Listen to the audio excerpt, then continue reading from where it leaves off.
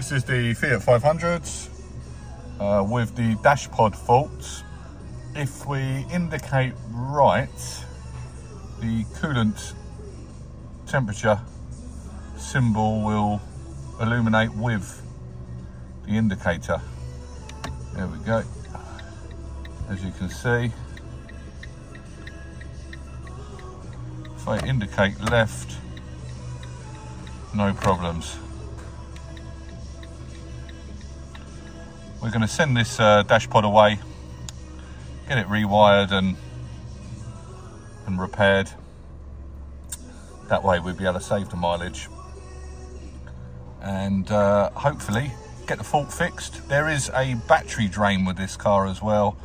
Um, we can test to see if it resolves that issue as well. There's definitely something going on. To be continued.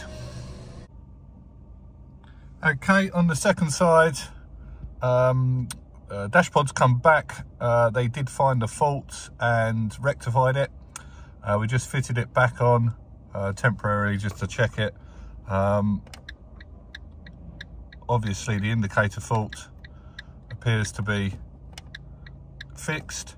Um, and since the pod's been removed, the battery hasn't drained. Um, so we're going to do a couple more tests just to see if that's been rectified. Um, but yeah, it's um, all good with the Fiat 500. Uh, thank you to ECU Testing. Um, this car will be boxed up and back to the customer by the end of the day. Another job done.